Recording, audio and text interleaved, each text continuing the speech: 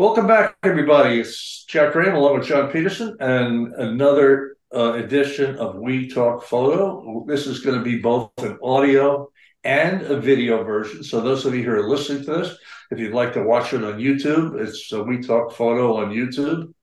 Um, like a lot of other people, we've migrated to the, uh, the the the technology. So we're audio and video on this one. And today we have a you know, my one of my favorite people in the world, and um, I'm so honored to call him one of my best friends, um, Guy Tal from the metropolis of Torrey, Utah. Uh, thank you very much. Welcome. Thank you for being here. Uh, thank you for having me. It's always a pleasure. We were talking before this. Uh, we we went live here. This building that Guy's in is a is a is a house that he literally built out of a garage that was in his backyard. And God, I, I, we were talking. It's been I'm thinking 15, maybe a little longer years since I remember seeing that and you mentioning it. You were going to convert that into an office. And, um, it looks great. I love the, the wood. Oh, thank you. Yeah, the building itself is probably about 100 years old. The, the wood that it's made of was cut right here in the local forest. Yeah, it's almost as old as me. yeah. Yeah, well, thank you for being here. And um, you know, I guess I guess the question, guy, that every you know, I'm thinking like if I was a listener, what would I want to hear from Guy? And the hmm. listeners, and John, you know, we have to do. We have to go into this live stream thing at some point where we can have people on and ask questions and interact. Yeah, that'd be fun. But Guy, what's new? And let's save the big headline for make everybody wait here. We have a huge headline for huge headline, and no guy did not hit the lottery. no, no, and and he didn't get rid of his cameras yet. That is yeah. the big news. Yeah, I didn't win. Yeah. But, but what have you been? What have you been up to? Uh, well, it's it's kind of interesting because people ask what's new, and for me, there's always something new. I I get bored pretty quickly, so yeah, I'm just I'm just uh, spending more of my time outside. I'm experimenting with new styles of photography. I'm discovering new places. That's that's been my life for a couple of decades now, and I I just love doing that.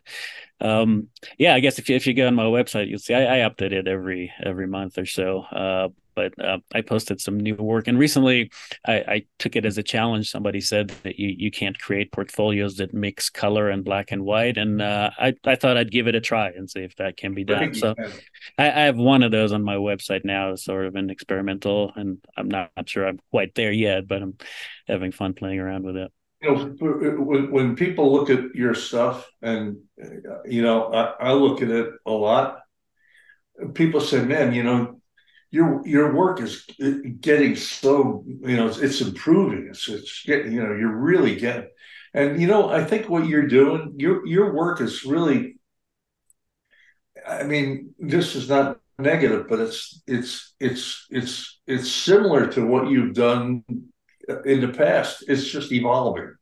Uh, yeah and I, I think that's I, I like to think of myself as an expressive artist and you know self-expression is expressing yourself expressing your own thoughts your feelings your you're you're being a human being in the world. And so as, as i evolve myself i i hope that my photography and my work evolve with me.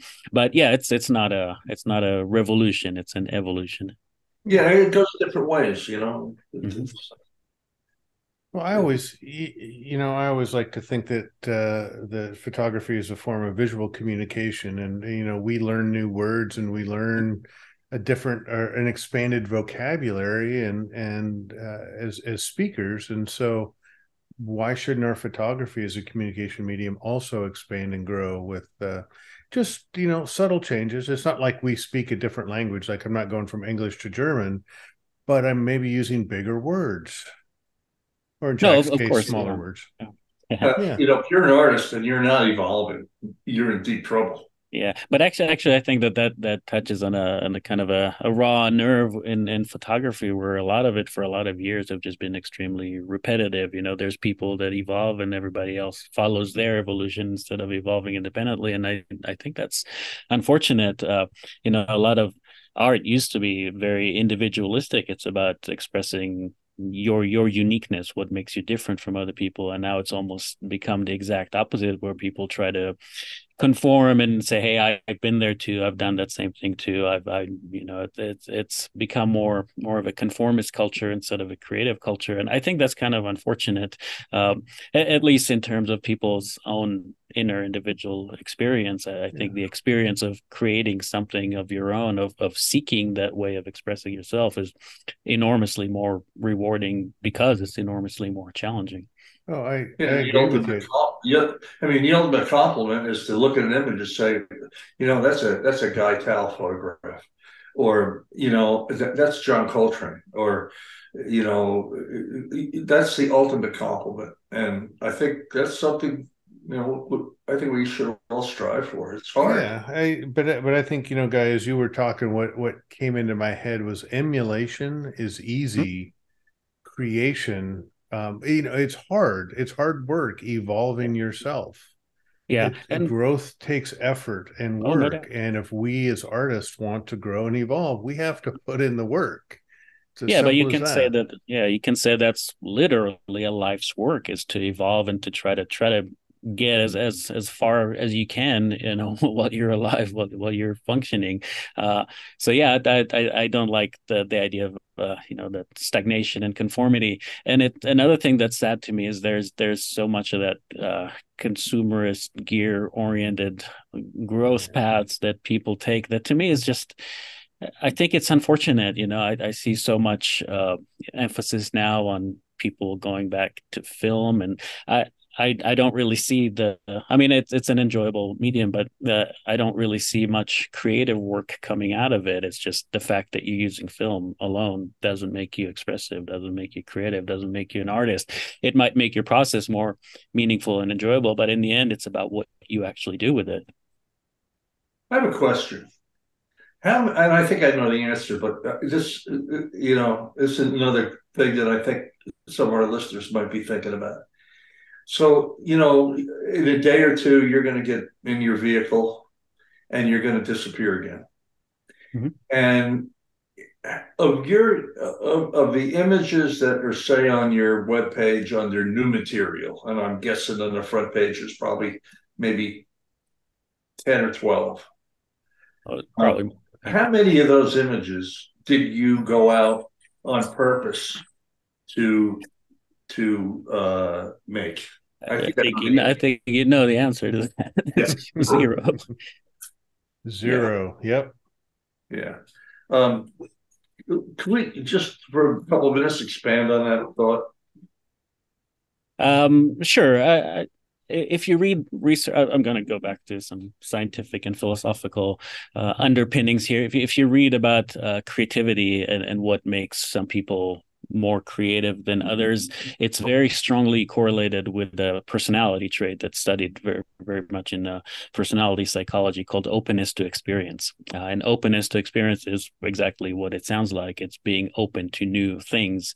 Uh, it's not becoming too caged in your existing ideas, in your existing process, in your existing um, way of thinking. Uh, and so people that score higher, there's ways of measuring that in, in psychological testing. Uh, people that rank higher in openness to experience are generally more creative. Uh, again, there's ways of measuring creativity too with various tests.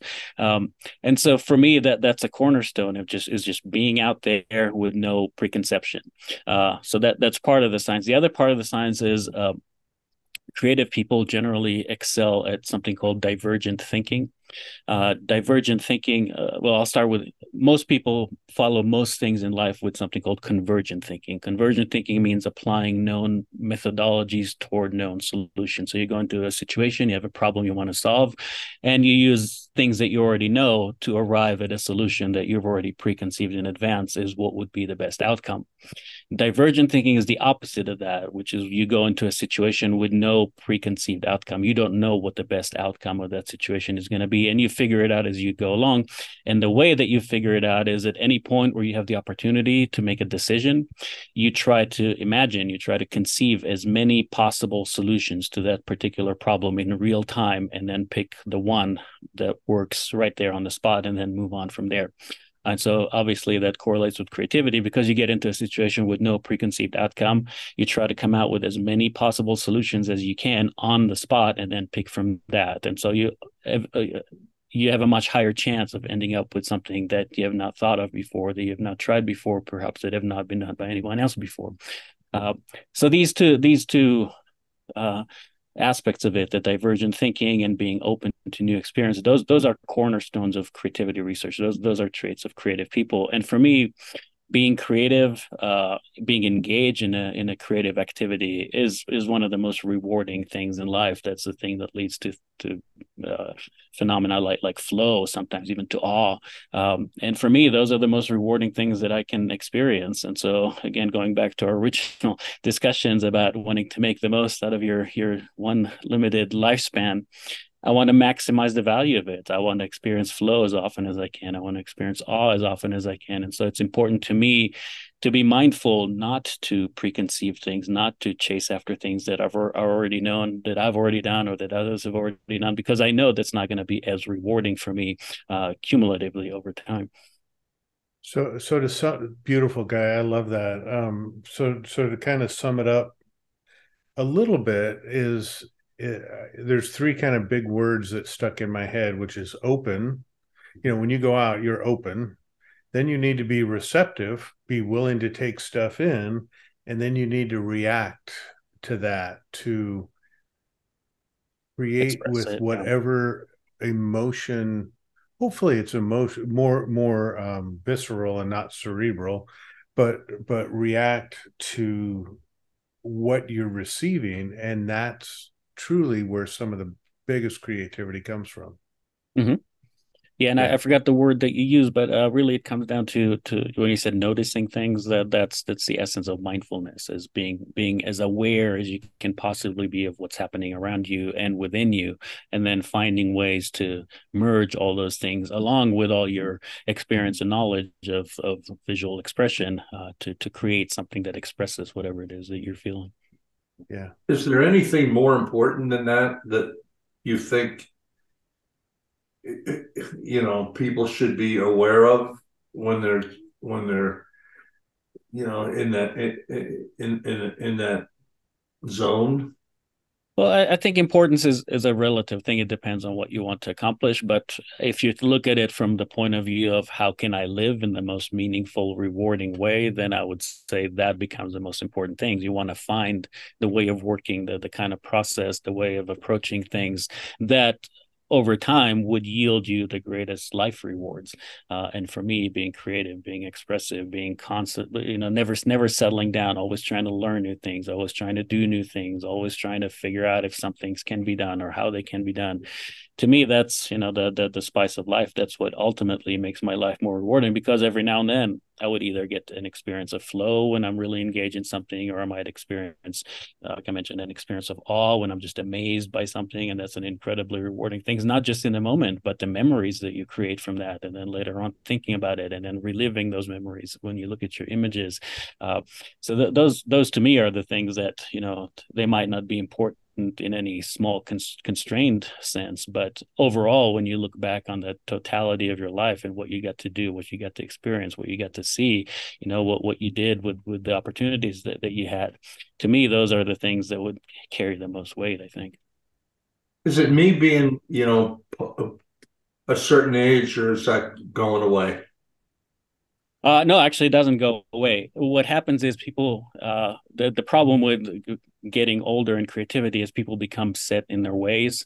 Uh, they become, I think the term is enculturated, as you kind of get used to doing things a certain way and you get rewarded for things over and over. And that's the essence of a, a psychological uh, movement called behaviorism, which is things that you get rewarded for, for you're going to want to repeat, and things that you get penalized for or that you fail in, you're going to want to stop. And then over time, you're not even making your own decisions anymore. Your brain just knows, hey, this is fun. I'm going to get rewarded for that. So I'm going to think that way or do that way. And uh, for a long time, uh, it was thought that this was something that you couldn't resist. Uh, there was a very famous psychologist that came up with that term. Uh, his name was B.F. Skinner. Uh, so yeah. he he coined that idea of behaviorism, uh, but then uh, then some people came out and challenged him on that. They said, no, that's doesn't not always true. And one of the people that challenged him on that was the author of the the Flow book, Mihaly Csikszentmihalyi, uh, and he said, yeah, that might be true in a lot of ways for a lot of people, but look at artists, for example. Artists don't necessarily do things because of reward. The amount of effort that artists put into their work is completely disproportional sometimes to the income that they get from it, to uh, you know a lot of other aspects that behaviorism would suggest that they would need to do things differently. But he said no, artists don't don't really respond in the same way to that, that that behaviorism predicts that they will respond. They invest a lot more effort in their work than is uh, commensurate with their rewards. So there has to be something rewarding in the activity itself, not just in the outcome of it. Mm-hmm. Um, and that's where the idea of flow came from. Hmm. Yeah, fantastic. That's beautiful. I, you know, I it, just to relate a little story. Um, you know, and folks, you know, we talked about being open, reactive, and responsive to to uh, the external stimuli when you're on location, and and how to let go of your your kind of your quit stop being a camera owner and being an artist, and and quit worrying about your technology and and be open to your environment and and uh, I just got back from a, a, workshop in the Palouse, and Guy, you were you were with me because I, I uh, was talking to somebody about this kind of concept as we were standing out amongst the wheat fields, and they were struggling to to find a, a photograph, and and because uh, partly because they were a little worried about their camera, and I told this wonderful story of of the I think the first time I met you, uh, we were all three down in the Eastern Sierras, and I one day I, I, I asked you if you would just go take a walk. Let's go walk through the forest, and I want you to just give me a stream of consciousness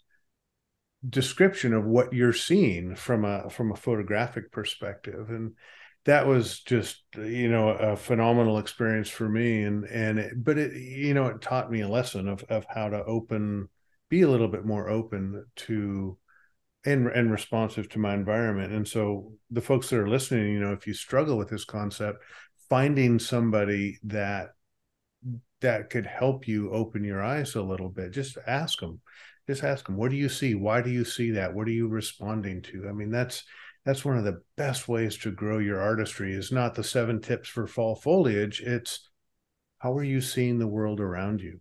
Talk to me when we that. when we did the sierra guy if you remember Remember one that one time I said we should be recording this because we were walking around. I mean, for two days we didn't even look at a camera. I, am driving around with Guy Tal in the car, okay? and and like I'm I'm saying, okay, well, you know, let's see. I'm going to see what he, he's going to see the photograph. And we didn't look at the camera for two days. We walked around talking about where we were taking people and what's here and what's there. And I said, man, we ought to be recording this. We could sell this. It was, it, it was an amazing thing. Learning how to see is critical. It's huge. Well, I, I think part of it, and then we'll get into the, the, the, the meat and potatoes of this podcast. I think a lot of people are afraid of stuff that they they don't know about, and they're afraid to let themselves experiment with things that they're not comfortable with. Mm-hmm.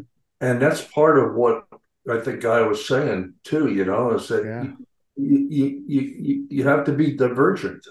Yeah, uh, I think the the painter Henri Matisse uh, said it best. He said, "Creativity takes courage." Uh, and there's a, a, great book I just recommended recently to someone called "Creative Courage" by uh, another famous psychologist named Rollo May, uh, where he talks about you know being courageous to do things that have not been done before, being courageous to explore new things, even being courageous going against the the, the society and the community uh, that is has been doing these things in certain ways for certain times. you know, and of course to maintain the cohesion of the community that they have certain norms they have certain you know this is right this is wrong this is how you do things this is not the right way to do things. And as artists we have to have that courage because otherwise art would never evolve. And Rollo May said that we would not have served our purpose in society, which is to to agitate, to help people see new things in new ways, to think about new things in new ways, not just to keep doing the same thing over and over. You know, when you were talking before, I, I was going to say you remind me of Miles Miles Davis with a lot of your thinking, and it not as much profanity though. Well, no, and and and, and a lot more um, kind of like not not quite as angry at, at times. but I, I, just want to read this little paragraph. I'm just going to send it to you last night. Um, this was uh, re- related by Gary Peacock, who's a bass player that played with uh, with Jarrett and a bunch of people, and with Miles for a while. It says in 64, Peacock briefly joined Miles Davis, substituting for Ron Carter. Uh, Miles probably said one of the most brilliant, useful, necessary comments I've ever heard. Someone was recording with him, and Miles looked at him and said, What I want to hear is what you don't know. Mm-hmm. That's really the key, not the playing what you know, playing what you don't know. To do that, you have to get very quiet, inside, listen, and surrender to whatever that particular musical setting is. Mm-hmm. So it doesn't make any difference whether I'm playing standards or free stuff because you're giving up any kind of fixed positions or attitudes you may have about what it should or shouldn't be. And to do that, you have to be vulnerable, to be in a place where you realize that it's what you're after. You cannot know, it's not conceivable. Mm-hmm. That's but it's there. Thinking, it's yeah. the muse. It's kind of a switch from the self playing to the muse to the muse playing itself. Yeah, and I think there's another great uh, quote from, uh, from Miles Davis. Yeah, I'd love that. Yeah, he said. Uh, I think somebody asked him about, uh, you know, what something he was going to play, what what it means, and he said, "I'll play it first, and I'll tell you what it means after." yeah, that was on the recording on Christmas Eve of 1954 of Bag's Groove um, with Thelonious Monk and and and Percy Heath, where Miles and Monk got into it, and and and um, um, he didn't like what Monk was playing, so Monk refused to play while Miles was playing. It was just Miles and the bass player, and then when the rest of the band came in, Monk would play. And his his Miles had a lot of great comments like that. Mm-hmm. He said, "I'll play play it, and I'll tell you what it is later." Yeah, yeah, yeah great, great stuff. Um, so, you know, uh, uh, uh, John, I should have like a drum here. Drum roll. We're we're breaking news in the photographic community today. I'm sure this will be quoted in all the publications and probably give us credit and everything, John, for for this. But you know, I was talking with Guy yesterday, and in a typical Guy Tal fashion, I asked him, "So what's new?" And he comes out with this big thing. Like, that's no big deal, but this is what I'm doing. So, folks, you heard it here first. There's going to be a new book from Guy Tal, and it's not going to be shoot at a 125th at F8. It's going to be a continuum and a growth of Guy's other books that are extremely mentally stimulating. Guy, tell everybody what you're doing. Uh, sure. Actually, I just want to say from the start that this book will be a little bit different. In fact, I went to my publisher and I said, you know, I've, I have a lot of articles that are fairly ready for publication. I could create another book of essays similar to the the three that I already have. Uh, and uh, then uh, one of their staff said, "Well, you know, it would be really great uh, if you could write a book." And and she specifically said, "I don't know if you guys know the book Letters to Young Artists by the poet Rainer Maria Rilke." I've heard of uh, it. Yeah. She said it would be interesting, you know, if if I wrote a book of advice for photographers. Uh, and I thought about this a little bit, and I thought, well, I mean, I've in teaching, I could take a lot of my teaching material and convert that to bits of advice. Uh, that that would have been fairly easy. But then I thought, you know, I, I, really want to do something a little beyond that. I'd like to push it a little bit more. And uh, uh, you guys probably know I, have had a, a long, you know, multi decades long interest in philosophy. So I decided to write a book along the same line of advice to a fellow artist, a fellow photographer, not necessarily a younger photographer.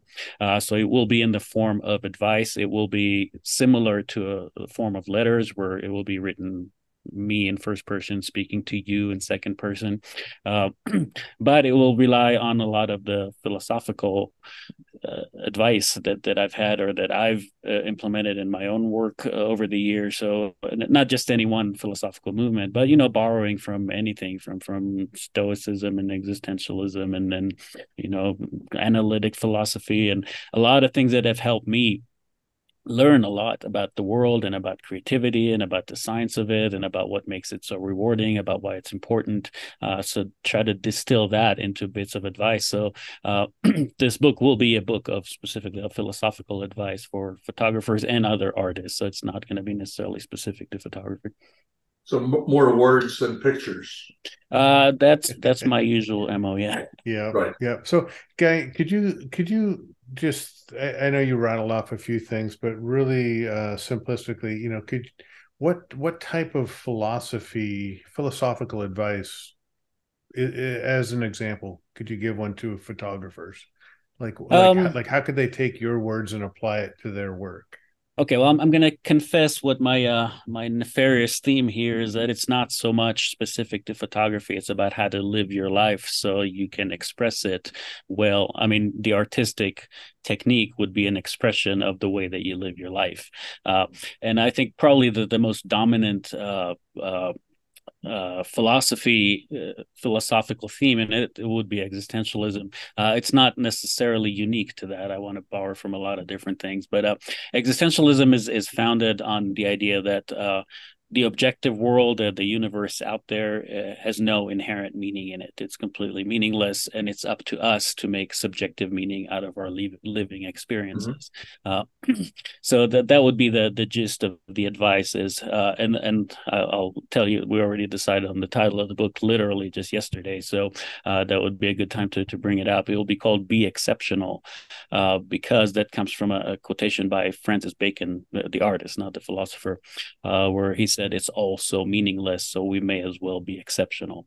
Uh, and to me, that that is probably the the gist of the the, the whole uh, advice framework that that I have in mind is don't don't assume that there's meaning in the world that you're just gonna find or that's going to come to you or that somehow is going to manifest itself in you you have to go out and make meaning you have to go out and find meaning and then express this meaning in your work so by doing that you're distilling it you're enhancing it you're enlarging it you're elevating your life through artistic activity to uh, find the, the, the most meaningful things in life and and find a way to express them in your work Wow.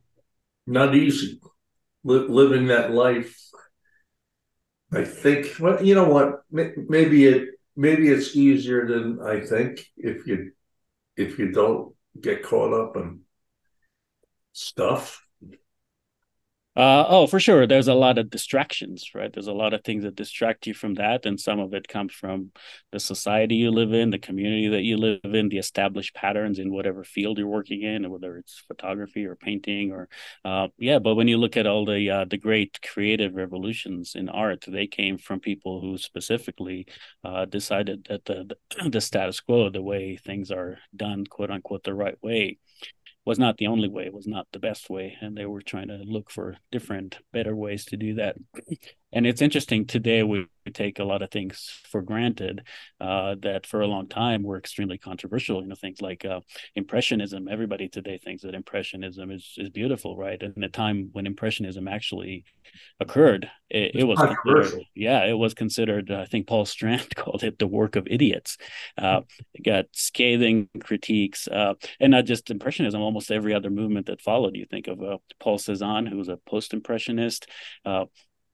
Yeah, I think uh, one critic said that uh, pregnant women should not go to see his exhibits because they might miscarry by looking at his. Look at look at Stravinsky. his the Riot of? Spring. It was a riot. I mean, literally was almost a riot in the street. Oh yeah, oh premiered. yeah. in in Paris, yeah. But uh, yeah, so I mean, today people think Paul Cézanne is this great artist and his his work is beautiful, but for almost forty years, nobody wanted to exhibit him. Nobody wanted to do anything with his work. Uh, but you know. That that wasn't what drove him. He he loved nature. He loved living in the south of France, which at the time was considered this provincial area away from the big city, not as prestigious. Uh, so he got he got ridiculed a lot for being just this country bumpkin who was playing who was uh, painting uh, natural scenes that didn't even look very natural. But you know, today we know what an incredible artist he was. I think Picasso called him my one and only master. You know, so other artists called him a god of painting. And uh, but you know, those things don't happen in real time. You have to earn them. You have to struggle for them, and the struggle of finding meaning is is a huge part of it. Uh, it's not just one day you stumble on a good idea and the next day the whole world loves it. Yeah, for sure. You know, it's uh, John and I were talking in one of our recent podcasts about how controversial color film was when it first appeared. Mhm. It was like the the devil brought color film to us. Yeah. and Yeah, you know, that was a forget. It, no, it's just it just it, it, people just uh, you know things that are now everyday exception accepted things at one time were were totally totally debunked. You know, you bet, you bet. So, so as you were talking, kind of describing this guy, there's there's a couple of points that came up in my head for maybe folks listening to this program, and and uh, you know, the first one is that we're regardless of whatever artistic medium you choose to express yourself, I think that we're many people are constrained by the rules of the medium, the rules of society. Um, you know, we feel like we're in this box, like we must do things this way. And so I, I, I sense people fighting a little bit against that. And then the second point is is that we're constrained by ourselves. Mm-hmm. Yeah, we're afraid to Perfect. to open up what's inside. We're afraid Perfect. to explore and expand, and and both of those things are really big potential impediments to growing as an artist. Huge. Yeah, and uh, so so when you said first we are constrained, I wanted to correct you and say a lot of us believe we're constrained, but we're not really. Great. At the point. end of the day, we actually do have a lot of choices. Yeah, they might be risky choices. Yes, they might be uncomfortable choices. Yes, they might come with certain penalties but they are nonetheless choices. And that again goes back to that philosophy of existentialism. Uh, if you look if you read you know people like sartre or camus or even martin heidegger was probably the the biggest proponent of it which is kind of ironic because he was not he was not a good person but his philosophy was extremely extremely meaningful. And he he called it authenticity living an authentic life.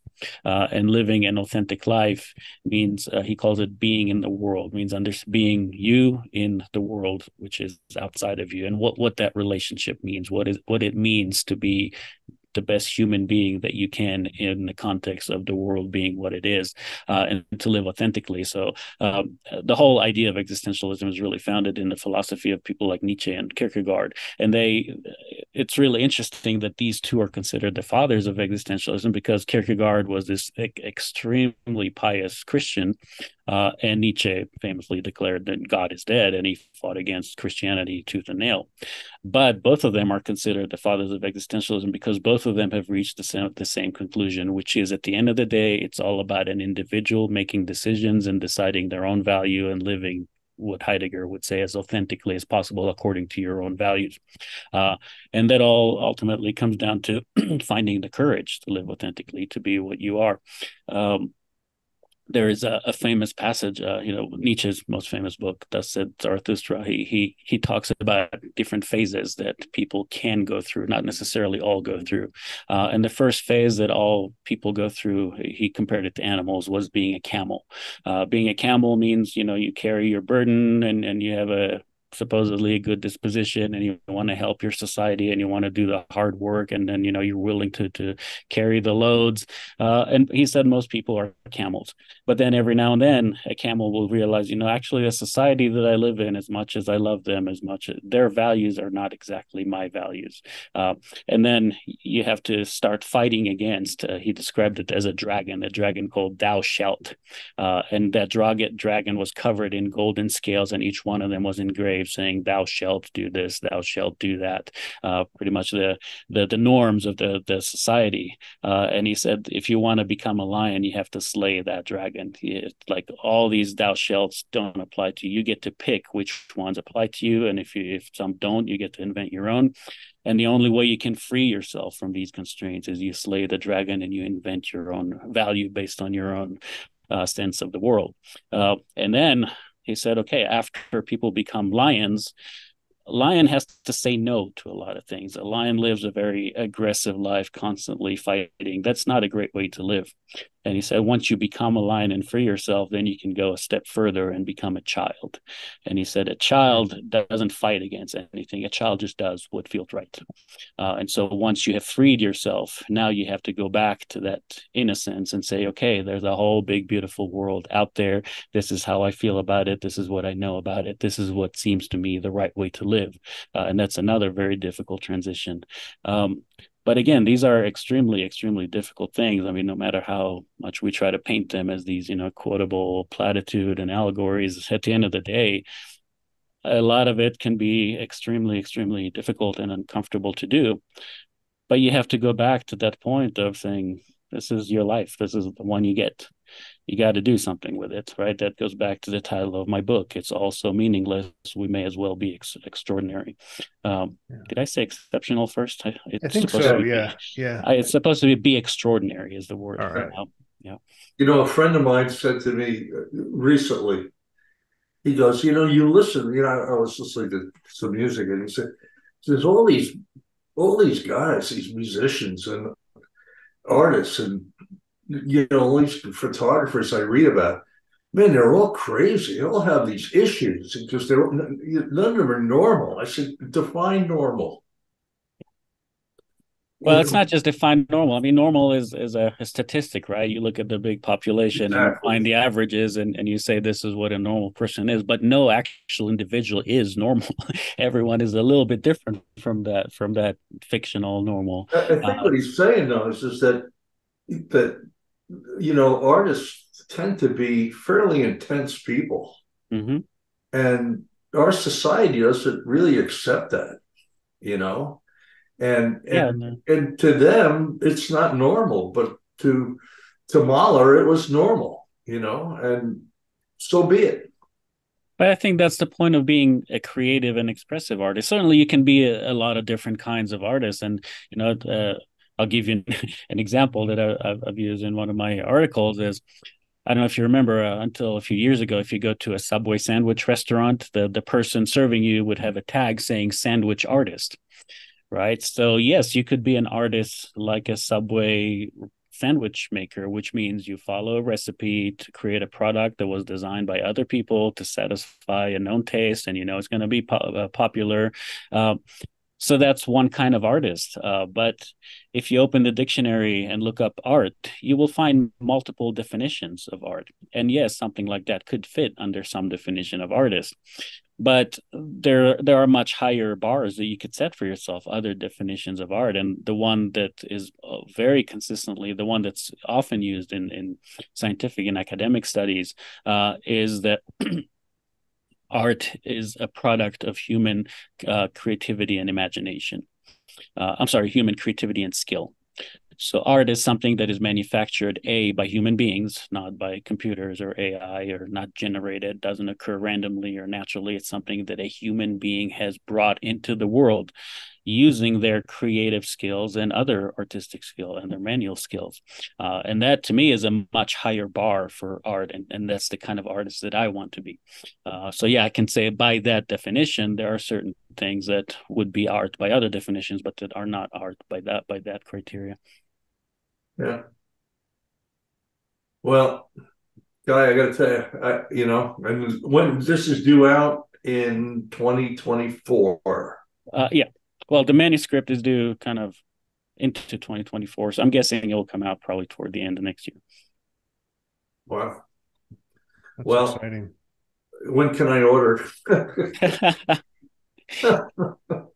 I can sell it to you, but there's nothing to sell yet. So. It's okay. I'll buy it. Um, what? Uh, so, I, what? You have a new vehicle, and you're and you're now exploring places again easier, correct? Uh, more comfortably, yes. More comfortably, better, better thing. Yeah. Uh, uh, people are going to ask, what do you what, describe your your your home away from home? Uh, well, I I mean I know this desert pretty well, and there's a range of beautiful uh, uh, environments here, from from the the Red Rock canyons all the way up to alpine meadows and, and lakes, and so I I know a lot of these places pretty well. I can usually find a place where I can get away and, and have a, a quiet place to myself. I will set up my camp. Uh, usually, I will spend the first couple of days just you know making myself at home.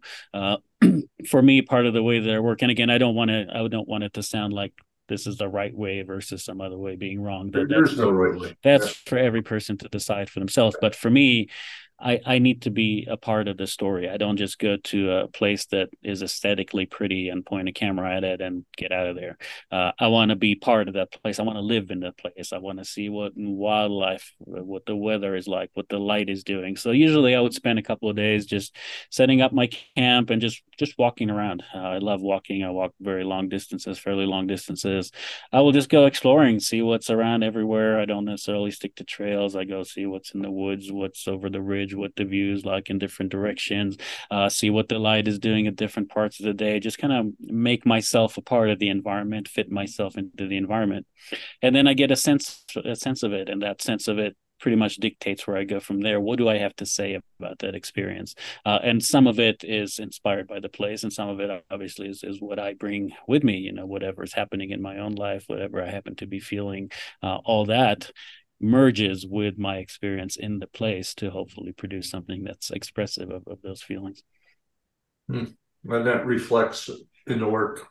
Yeah, and and for me, you know, for me being a professional, it's it's a weird thing how that term professional has has evolved in recent years. But really? but for me, being being a professional means that I get to do that I get to earn an income doing that. So that that frees me to to go and work for as long as I want. So when I go, it's not, hey, I have three days or a week or two weeks off from work and I'm going to go and do this and then I have to come back. I don't have usually I don't have to come back. Uh, I can go to one place, spend a week there, come but go back, buy some groceries, go out for another week somewhere else. Uh, uh, so I, I, uh, for me, that that's a great lifestyle because uh, that that's the type of person I am. I'm extremely introverted.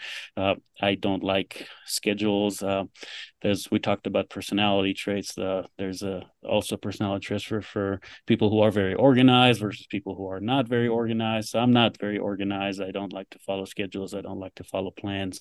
Uh, I like to just get out there, see what happens, decide what to do with it. Mm-hmm. Well, that's that's you know as you were talking, I mean that's that's just a, a, wonderful way of being, and and and how you've evolved into that. You know, I think for I think for folks listening, of course, a lot of a lot of people can't take two weeks off to go get immersed into a landscape to get in touch with their surroundings and be responsive yeah. and reactive to that. But you know, I, I, I think that there's things that people can do even day to day. You know, just pause, just stop, leave your camera in your bag when you go onto a location, and just walk around for a half. You can spare half an hour. Just yeah. walk around and and observe and just be and feel what the environment has to say to you. Absolutely. You know? Yeah, and, and you know, going back to that, there, there for a long time. I mean, I've had other careers for a long time. I didn't believe that I could take that kind of time and do that kind of thing. But for me, that's what it meant to be a professional. It meant that I could earn a living doing that. So, oh wow, bird just smashed into the window. uh, but, the, but that, that's guy what you were saying. These are decisions that you, you know you made a decision to walk away sure. from I, know, I, can tell you, I've, I've the IT uh, business twenty years ago. Uh, yeah, and and for as long as I've been doing this, today I don't make as much as I did in my corporate job, in my last corporate job before I quit. But you know, like you said, we always have choices. They're not necessarily easy choices. They're not necessarily convenient choices. They're not necessarily choices that align with the interests of other people. I uh, just my circumstances allowed me to take a little time off to figure out what I wanted to do. And I wanted to see if I could find a way to earn a living so I didn't have to go to an office. So I didn't have to deal with customers. So I didn't have to, you know, uh, so even though those options were far from obvious, right? The easiest thing for me would just say, hey, I have a great job. I have a, you know, a good place to live. Uh, you know, I live in a, in a enlightened, fairly enlightened country. Uh, and a lot of people, those are things that for a lot of people would just be incredible. Uh, but I got to a point where I've had that and I didn't feel fulfilled by it. I have never been wealthy. I, I don't have independent resources. I have to. Oh, what I heard. yeah, I have to earn an income. Yeah, but I thought, okay, so let's say that I did want to do. What can I do? Well, I could I could write. You know, I could sell books. I could try to sell photography. I could teach, and those things would allow me to at least try something at least you know quit my job and go see if i could do it and you know that was far enough i, I could have fallen flat on my face and failed but to me that's part a huge part of what makes this so meaningful to me is i had to figure it out. I had to use my own creativity and my own skills not just to do my work but to figure out how i can sustain myself doing it. Um, and uh, you know going back to to that matisse words where creativity takes courage it's not just that it takes courage to do something that other people haven't done before. It takes courage to to live as an artist. It takes courage to to going back to existentialism to make your own values uh, to to be who you are. That's the famous quote from nietzsche. That's the foundation of existentialism is become who you are because everybody's different. I, you know go back. I had a group once in um, in my mid valley, and someone who wasn't with my group was there, and he was a young young guy, and um, so I had the group out and we're photographing, and this guy comes up to me, goes, "You must be the leader, yeah. Well, you know, how do you get to do this? I'd love to do this, and I want to be, you know, I want to become a, a, a photographer instead of working in my day job, and." And you know what do you think? What should i do? And i said well you know i mean you got to figure out what you want to do and figure it out. And one of my attendees walks up to me says what are you telling them that for? Man it's this is it's so this is crazy. It's, yeah. you know you're not going to live you know you're not going to have you know 10 cars in the big thing. And I looked at this guy. I said, "Who am I to tell somebody not to follow something that they want to do. I mean, follow your dreams. I could end yeah. up being the next Galen Rowell for all yeah. Yeah, I, I got to tell you an anecdote and, and then one more point if we have the time, if you don't mind. Uh, so g- going back to, you know, since I have philosophy on my mind now, going back to Nietzsche to Thus Spoke Zarathustra, uh, the story is about this person named Zarathustra. He's named after the, the god Zoroaster, who was. This the, is not the musical piece that become became famous. It's actually a yeah, book was it? Yeah. written way before the music. It, yeah, it was after, yeah, long before the music. But anyway, so in the story, this person, uh, he lives in the mountains alone, uh, and he matures and becomes very enlightened. And he decides, you know, the right thing for me to do would be to come down from the mountain and tell people what I've learned, what I found out, that they can actually live better lives, that they can live more meaningfully, etc.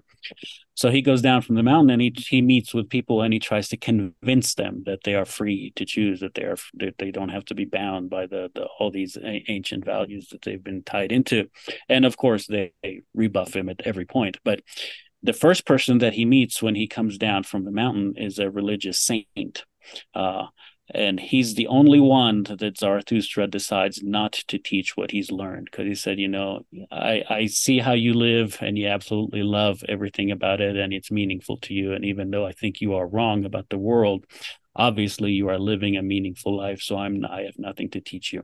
Uh, so it's not like my way is the right way. It's like the point is for you to live an authentic, fulfilling life, however, whatever that means to you. Right. Um, yeah. yeah. So that, that's, that's the first anecdote. The other anecdote is, I, you know, this this might uh, be a, a, little challenging to hear, but there's also the opposite point of view where, where you know, a lot of people today are kind of born into fairly well to do lives and and and you know don't have the same struggles that other people have had uh, and they they fall for the platitudes like well you can be whatever you want to be or just decide what you want to be and go out. nothing is guaranteed actually that the the possibility that you will fail sometimes is greater than the possibility that you will Correct. succeed a and b the possibility that you will fail is what makes it meaningful uh, you can't just be whatever you want to be. You can try, you should try, but there's no guarantee. And if you fail, you might have to find to figure out how else you could live that would be meaningful to you. Uh, so it's not a it's not a recipe for success. Actually, you will find a lot of writers in this genre uh, belittling success. You know, success is not what you think it means. Um, it's not being financially well off. It's not owning a lot of things. It's not being popular. It's not being loved. It's not, you know, none of this is really success. Success is living an authentic life. Success is living by your own value. Yeah. Yeah. Well, John, you know, let me, uh, before we, we, we bang this up, any last thoughts for Guy John?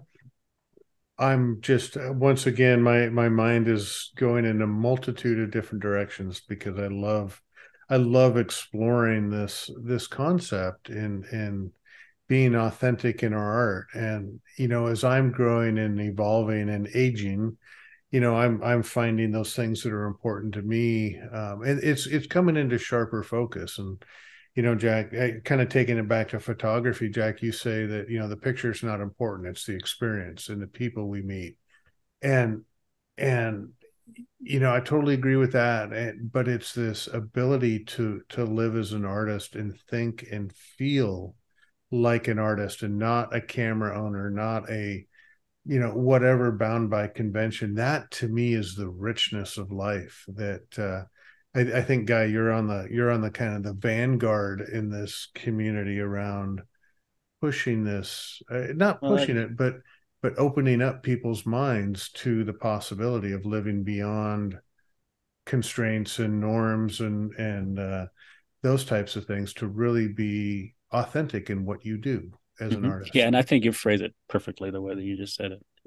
Yeah it's it's fantastic I, I just love this love this conversation. Thank you. Maybe the next the third book after the next two guys should be and in fact you're gonna you're doing it you could have called this book living as an artist in a way.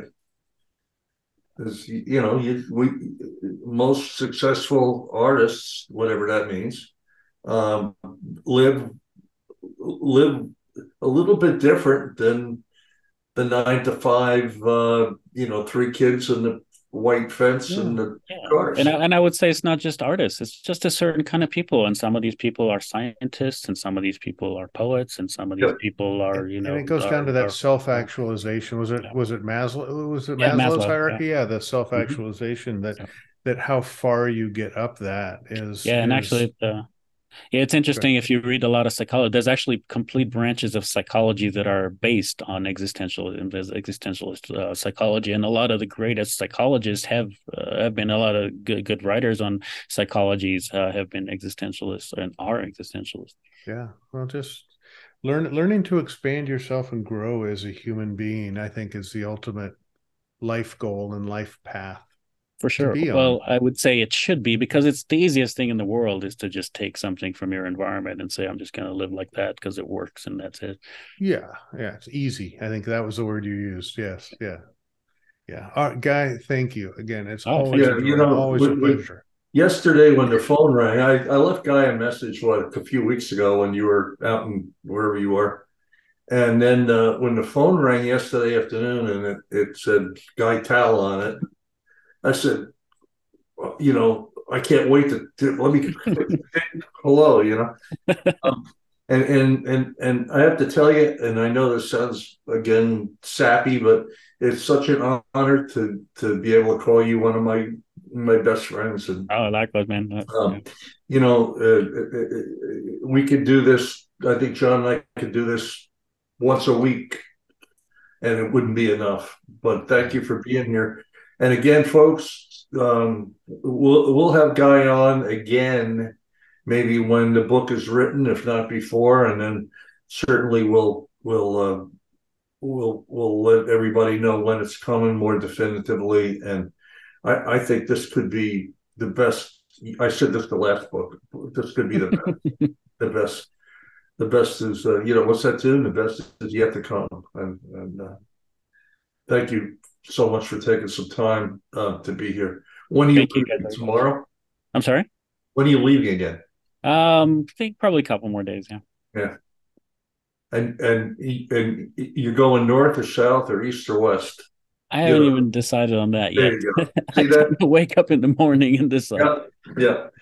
Well, anyhow, um, folks, thanks, Guy, for being here. Um, John, I think we nailed it. Any last questions? no, sir. I think we're doing great, folks. Thank you all for taking some time. I hope you all listened to this more than once.